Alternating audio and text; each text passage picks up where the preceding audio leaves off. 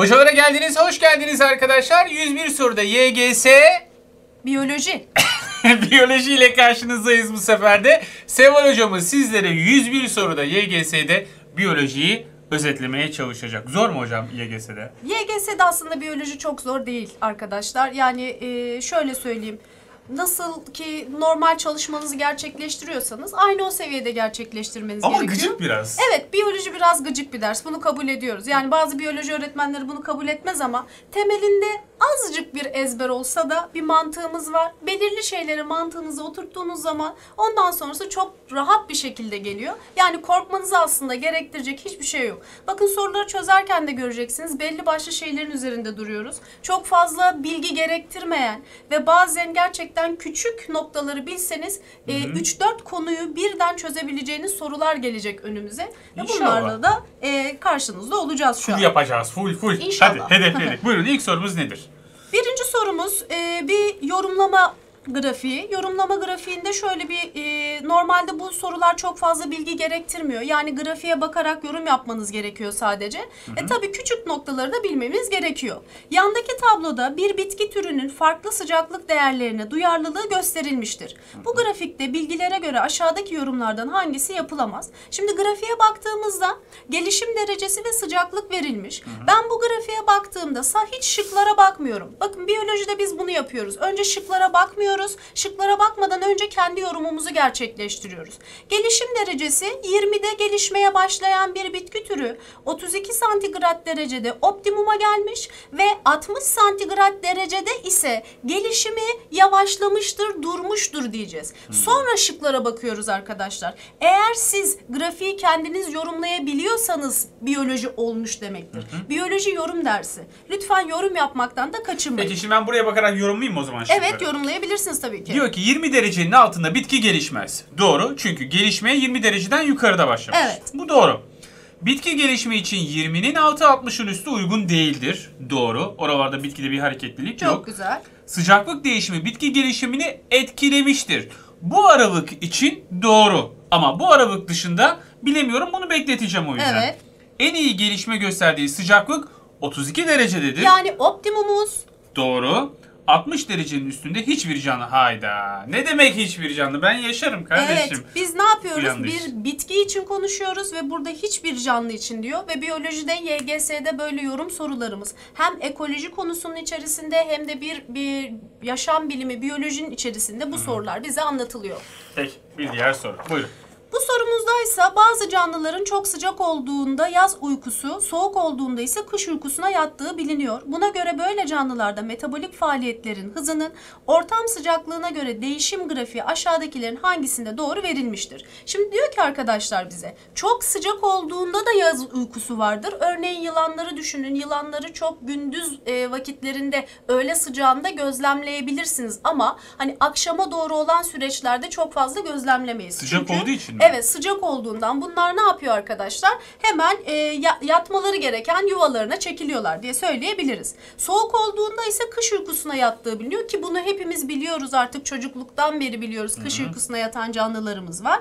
Buna göre bizim sıcaklıkla ilgili bir metabolik faaliyet konusunda e, yorum yapmamız gerekiyor. Şimdi sıcaklıkla metabolik faaliyetimiz sabit kalır demişiz. Bu doğru bir grafik mi olur? Yok. Sıcaklık artıyor, metabolik faaliyet... Şöyle zaman- bir şey olması gerekiyor. Tabii buyurun. Sıcaklık düşükse metabolizmam yavaşlayacak. Evet, Uyumam lazım. evet. Sıcaklık yüksekse de metabolizmam yavaşlayacak. Gene Evet. uyumam lazım. Yani bir optimum değerim olacak. Ee, canlıların yaşaması için bir optimum gerekli. O optimumun altında yavaş, o optimumun üstünde ise gene yavaşlayan bir grafik olması gerekiyor. Bizim buradan en uygun seçeneğimiz A seçeneğimiz diye hemen söyleyebiliriz. Peki diğeri. Şimdi böyle sorular arkadaşlar çok fazla karşınıza geliyor. Burada bilmeniz gereken şey canlının temel bileşenleri. Yani karbonhidratlar, protein ve yağlar. Biz bunlara e, yani biyolojinin temeli diyoruz. O yüzden de bunu mutlaka bilmemiz gerekiyor. Hayvan ve bitki hücresinde glikozla glikoz birleştirilmiş, maltoz açığa çıkmış ve su oluşturulmuş. Bu olay reaksiyon küçük moleküller birleştirilip büyük bir molekül oluşturulup Açığa su çıkıyor ise dehidrasyondu. Hatta burada ezber yapmıyoruz arkadaşlar. Sadece bunun için kullanmıyoruz bunu. İki küçük yapının yani şöyle de söyleyebilirsiniz. Organa, or- e, organik e, moleküllerin, küçük organik moleküllerin birleşip büyük bir organik molekülü açığa çıkarırken su çıkarması işlemi dehidrasyondur. Su çıkarma işleminde de dehidrasyon derken bunun tam tersine büyük bir yapıyı su yardımıyla parçalama işlemine ise hidroliz adını veriyoruz. Tamam. Aynı şekilde amino asitleri kullanarak protein oluşturuyoruz ve n-1 sayıda su açığa çıkarıyoruz. Aynı şekilde yıkımı gösterilmiş. 3 yağ asidi artı 1 gliserol yağ oluşturuyor ve 3 tane su açığa çıkıyor. Hem yapımı hem yıkımı okla gösterilmiş. Şeklinde numaralandırılmış tepkimelerden hangileri ortak olarak gerçekleşir. Bitki ve hayvan hücresinde. Şimdi öncelikle biz şunu biliyoruz. Bir canlının olmazsa olmazı ribozomdur. Yani hücre zarı, sitoplazma, DNA, RNA ve ribozom. Canlının olmazsa olmazlarıdır. Bütün canlılarda Bütün olmak zorunda. canlılarda olacak. E, ribozom varsa yorum yapıyorum bakın. Ribozomun olduğunu bilmem yetmiyor. Eğer tüm canlılarda ribozom varsa ribozomun görevi protein sentezidir. Protein sentezinin denklemi nedir arkadaşlar? Burada görünen grafiktir. Yani hayvan, bitki, farklı canlılarda diyebilirsiniz. Bakteri de diyebilirsiniz, mantar da diyebilirsiniz. Amino asitten protein yapımı, proteinden amino asite yıkım mutlaka tüm canlılarda gerçekleşen bir reaksiyondur. Tamam. Birincisi için ise şöyle bir yorum yapıyorum. Glikozla glikozun birleşip maltoz arpa şekeridir. Yani bu bitkisel kaynaklı bir yapıdır. Bu bir disakkarittir ama bitkisel canlılarda görülür. Yani bitki hücresinde bu gerçekleşebilir, yıkımı gerçekleşebilir Ama ama, hayvan hücresinde- hayvanlarda ben bunu hayvan hücresinin içerisinde değil e, dışında gerçekleştirebildiğim için bunu alamıyorum. 3 ve 4'üm şıklarımda olacak. 3 yağ asidi artı gliserol e, yağı oluşturuyor. Tüm canlılar yağ sentezini gerçekleştirebildikleri için 3 ve e, 4'ümün dışında 4 ve 5 numaralarım da benim karşıma 5 ve 6 Beş ve altı numaralarım da karşıma gelecek. Yani seçeneğimiz D seçeneğimiz diye söyleyebiliriz. Peki. Okuyayım mı ben soruyu? Tabii ki buyurun. Peki. Numaralar ile belirtilen reaksiyon, reaksiyonların hangisi bitki ve mantar hücrelerinde ortaktır? Aşağıdaki şemada canlılarda gerçekleşen çeşitli metabolik olaylar gösterilmiştir. Hiçbir şey anlamadığım için size devrediyorum hocam. Buyurun. Tabii ki. Şimdi anlayacaksınız. Bizim glikozumuz var. Glikozumuzu bazı canlılar depolar, nişastaya çevirir. Bazı canlılar yapısına katar, selülozu oluşturur. Bazı canlılar bunu glikojen şeklinde depolar. Yani ortamda çok şeker varsa ben bunları glikojen şeklinde alıp kaldırıyorum. Eğer çok fazla şeker varsa, glikoz varsa ben bunları paketliyorum, nişasta halinde kaldırıyorum. Ve bazı canlılar e, karbondioksit ve suyu kullanarak glikoz oluşturabilir. Biz bunlara ototrof diyoruz. Bazı canlılar demeyelim tüm canlılar glikozu karbondioksit ve suya parçalayabilirler. Yani oksijenli solunum yapıyorlar ise. Şimdi burada bilmemiz gereken şey şu. Niş, e, selüloz bitkinin çeperinde olan bir yapı. Yani yanına hemen bitki diye yazabilirim. Mantarda yok değil mi selüloz? Mantarda yok. Tamam. Glikoz, nişasta dediğimiz olay bitkinin depo maddesi. Bunun da kenarına bitki diye belirtebilirim. Glikozun glikojene çevrimi hayvanlarda var. Sadece hayvanlarda yok. Bakterilerde var ve mantarlarda var. O yüzden bu da mantarlar için geçerli olan bir yapım. Aynı zamanda şuraya baktığımda karbondioksit ve suyun birleşimini bitki ışık yardımıyla fotosentez ve klorofil yardımıyla fotosentez gerçekleştirebilir. Eğer ışık ve klorofil varsa bir numarada. Ama bir numarayı mantar fotosentez yapmaz. Öğrenciler genellikle mantarı bitki grubuna alıyor ve mantarın bitki olduğunu düşünüyorlar. Mantar bir bitki değildir arkadaşlar ve fotosentez gerçekleştirmez. Ama canlılar ve bize verilen canlılar glikozu yani besini oksijenli solunum yaparak karbondioksit ve suya kadar parçalayabilir. Burada açığa karbondioksit ve suyun çıkması bana burada oksijenli solunum yapıldığının göstergesidir. Hem bitki hem mantar solunum gerçekleştirdiği için oksijenli bir şekilde iki numaralı grafiğim benim e, ikisi için gerçekleşecek olan bir yapıdır. Peki. O zaman iki doğru kabul ediyoruz. Bir diğeri. Geldik enzimlerle ilgili sorunumuza. Ben burada özellikle bir şey söylemek istiyorum öğrencilerimize. Enzimler biyolojinin temeli. Yani enzim enzim konusunu bilmeden hiçbir şey yapamazlar. Enzimler biyolojik katalizörlerdir. Hem dehidrasyon hem de hidroliz olaylarında kullanılır. Buna göre enzim hidrolizi sonucunda açığa, e, aşağıdakilerden hangisi kesinlikle çıkar diye bir sorumuz var. Burada şunu bilmemiz gerekiyor. Enzimler protein yapılıdır. Enzimler protein yapılı olduğu için aslında kademeli bir soru bu. Enzimlerimiz protein yapılı. Şimdi enzimler proteinlerden oluştuğuna göre ben şıklarda hem proteini arayabilirim hem de proteini oluşturan yapıları arayabilirim. Amino asiti. Evet. Yani benim proteinim amino asitlerden oluşur. Amino asitlerin proteinleri oluşturur. Proteinlerim de enzimleri oluşturur diye de söyleyebilirim. O zaman ben enzimi hidroliz ettiğimde yani parçaladığımda hidroliz demek suyla parçalama demek. Hidro, su, liz parçalama. Suyla parçalama yaptığımda ben amino asit molekülünü oluşturabilirim. Siz bir yandan da tüm konuyu özetliyorsunuz. Evet. yani. Siz anlattıkça ben hatırlıyorum konuları. Çok teşekkür ederim. Bu soru kalıp sorumuzdur arkadaşlar. Bütün test kitaplarında bu soruya rastlarsınız. Ee, ama dikkat etmeniz gerekiyor. Burada küçük bir nokta var dikkat etmemiz gereken.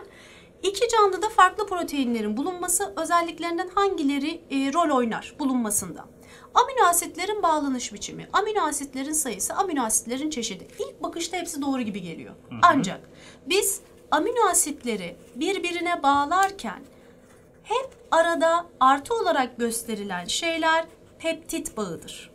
Yani ben amino asitleri en sayıda amino asiti birleştirip protein oluşturuyor isem ve n-1 derecede su açığa çıkarıyor isem burada peptit bağı ile bağladığım için bağlanış biçimleri iki farklı protein de olsa, üç farklı protein de olsa hepsinde aynıdır. Ha. Ama amino asitlerin sayısı 3 tane amino asit de devreye sokabilirim. 6 tane amino asit de devreye sokabilirim. Amino asitlerin sayısı, amino asitlerin çeşidi, hatta buraya dördüncü bir öncül olarak amino asitlerin dizilişlerini de ekleyebilirdik. Farklı proteinler oluşturuyor her Sizinle seferinde. benim birbirimizden farklı olmamızın sebebi de bu aslında. Yani bağlanış biçimimiz aynı pe- amino asitlerimizin ama sayı, diziliş ve çeşit farklı olduğu için birbirimizden farklıyız diye söyleyebiliriz. O yüzden cevabım da 2 ve 3 diye söyleyebiliyorum. Geldik gene bir e, kalıp sorumuza. Ben size özellikle kalıp sorular hazırladım arkadaşlar. Çünkü kalıbı bilmeden detaya inemeyiz. İnsanlarda depolanan glikojen açlık durumunda kullanılır. Buna göre glikojen depoları tükenen insanların glikoz gereksinimi moleküllerinden hangilerinin tüketimi ile karşılanır? Yani size diyor ki aç kaldınız, adaya düştünüz, açsınız, karbonhidratınız bitti. Ne yersiniz? Ya da vücudunuzda ne dönüşür? Yağ yerim. Yağ. Başka? Bir de amino asit yerim. Gliserolün ne olduğunu bilmediğim Ha, için yemiyorum. güzel. Bilmediğim şeyi yemem ben. Bilmediğiniz şey yemiyorsunuz. Çok güzel. Ama burada küçük bir noktamız daha var. Yani ben aslında soruları hazırlarken e, küçük noktalara değinmek istediğim için böyle hazırladım. Bu da bir yağ. Öyle mi? Şimdi öyle düşünelim. Önce şunu hatırlatalım. Canlıda kullanım sırası dediğimiz bir besinlerin Tabii. kullanım sırası var. Kullanım sırasına göre önce karbonhidrat bitecek. Monosakkarit, disakkarit, polisakkarit. Hepsi bitecek. Bunlar bittikten sonra yağa Yağ. geçiyorum. Yağ bitecek sonra Protein. proteine. Zaten buraya geldiğimde aslında açlık seviyesine gelmiş durumdayım ben. Ancak temel yağ asidi veya temel amino asit diye de bilirdi burada. Bunlar canlı vücudunda sentezlenmezler. Öyle mi? Yani dışarıdan alınırlar. Ben bunları dışarıdan almak zorunda olduğum için bunları ben enerji verimine katamam. Evet. O yüzden de ben bunu alamıyorum. Ama gliserol eğer karbonhidratım yoksa elimde sıra kime gelecek? Yağ Yani. gelecek. Yağ ve türevine yani gliserole. E bu da biterse eğer benim elimde neye gelecek? Amino asite yani proteine gelecek. O yüzden doğru cevabım E seçeneği. Tuzak varmış bunu kabul etmiyorum. Evet, tuzaklar var. Enzimler substrat reaksiyona girer. substratla reaksiyona giren madde bunlar biliyoruz. Her enzim her e, substrat üzerinde etkili değildir. Biz bunun için anahtar kilit modeli diyoruz. Yani her anahtar nasıl ki her kapıyı açmıyorsa maymuncuk hariç öğrenciler genellikle maymuncukla bizi e, tehdit ediyorlar. E, ama burada arkadaşlar enzimler belirli substratlara özgüldür. Ama belki de enzimler için de öyle bir maymuncuk vardır aslında hocam. Araştırmak Olabilir. lazım evet, yani. olabilir. gerçekten. Yeni bir araştırma Siz konusu. öğrenciler var ya siz öğrenciler bak ne getirdiniz aklımıza. Buyurun. Buna göre enzimlerin ilgili özelliği aşağıdaki açıklamalardan hangisinde doğru olarak verilmiştir? Enzimler yalnız hücre içerisinde çalışır. Hücre içerisinde üretilir, hücre içinde ve dışında çalışabilirler. O yüzden burayı almıyoruz ve burası bizim cümlemizle ilgili bir cümle değil. Bazen e, yukarıdaki cümleye bakmanız gerekir arkadaşlar. Şıklar istediği kadar doğru olsun. Siz yukarıdakini açıklamak zorundasınız. Aktivasyon enerjisini düşürürler. Evet bu doğru bir cümle. Ama benim istediğim cevabım bu değil.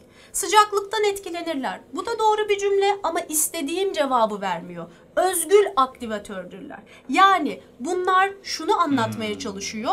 Belirli bir nesneye özgüdür anlamında. Ona özgü. O yüzden de cevabım D seçeneği. Şuradan çıkardık değil mi? Her enzim her substrat Evet. üzerinde etkili değildir. Aslında soru e, cevabını veriyor bize. Biraz dikkatli okumamız gerekiyor. Onun dışında hiçbir şey yapmamıza gerek yok. Düşük pH'da çalışabilir. Bu da doğru. Ama bana ne? Ama e, hepsi değil. Öyle söyleyelim. Aşağıda bazı reaksiyonlar verilmiştir. Buna göre ATP'nin kullanılmadığı numaralar hangisinde doğru olarak verilmiştir? Hmm. Şimdi ATP'nin kullanılmadığı diye soruyor bana. O zaman benim burada küçük bir hatırlatma yapmam gerekiyor. Dehidrasyon tepkimelerinde ATP kullanılırken yani yapım tepkimelerinde ATP kullanılırken yıkım tepkimelerinde ATP kullanılmaz. O zaman hocam Ben söyleyeyim. hatırlatmıştım. Şimdi siz bana söyleyin bakalım cevabı. Glikozden e, pardon glikojenden glikoza ise bu bir yıkımdır. Çok güzel. İki de Suyu da ATP kullanıyorum. Evet. O zaman kullanılır. Doğru mu? ATP kullanılmaz. Kullanılmaz. Proteinden amino asite bu da bir yıkımdır. Evet. 4. 2 ve 4 diyorum ben. Çok güzel. Arkadaşlar lütfen unutmayın hidroliz, suyla yıkım, su kullanılır ve burada arkadaşlar biz ATP kullanmayız ama e, 1 ve 3 numaralı olaylarda ATP'yi kullanıyoruz dehidrasyon olaylarında diye söyleyelim. Peki diğer soruya geçelim. Bu arada soruların pdf'leri internet sitemizde arkadaşlar. Çözmeden önce, izlemeden önce oradan kendiniz çözmeye çalışın. Ondan sonra izleyin. Şimdi hücre zarımızla ilgili bir sorumuz var arkadaşlar. Hücre zarı ile hücre çeperi birbirine genellikle çok karıştırılır. Aşağıdakilerden hangisi hücre zarının özelliklerinden değildir? Hücre zarı canlı bir yapıdır arkadaşlar. O yüzden B seçeneğimiz kafadan doğru oluyor. İkincisi seçici geçirgendir. Bu şu demek. Her gelen maddeyi içeri almıyor. Evet. Nasıl ki biz tanımadığımız insanları içeri almıyorsak, hücre zarı da aslında bu görevi görüyor. Yani her gelen madde içeri alınmaz. Evet. Eğer ihtiyaç varsa alınır, ihtiyaç yoksa alınmaz. Buna da karar veren glikoproteinlerdir. Tanıma proteinleridir arkadaşlar. Ne sistem varmış ya. İnanın çok büyük bir sistem var. Yaşlandıkça kalınlığı artar. Hayır, değişmez. Hücre zarı sabittir kalınlığı. Stoplazma azalır. Bu da Evet. sanki hücre zarı kalınlaşıyormuş gibi bir görüntü Ama mü verir? orada hücre zarı değil, artan şey hücre çeperidir. Çeperi olan canlılar hücre zarının kalınlığı değişmezken hücre çeperinin kalınlığı yaşlandıkça artar. Yani bitki sorularında biz özellikle ve özellikle bunu e, kullanabiliriz. Genç hücre, yaşlı hücre diye özellikle. Yapısında karbonhidrat, protein ve yağ bulundururlar. Doğrudur. Hatta glikoprotein dedim az önce. Glikozla proteinin birleşimi ya da lipoprotein yağla proteinin birleşimidir. Monomer maddeler direkt geçiş yapar. Monomer demek ne demek? Tek. Tek. şey, Çok tek. güzel. Mono tek demek. Tek basit yapı demek. Basit yapılı moleküller hücre zarından direkt giriş çıkış yapabilirler. O yüzden bu da doğru cevabımız. Dedik ve bitirdik.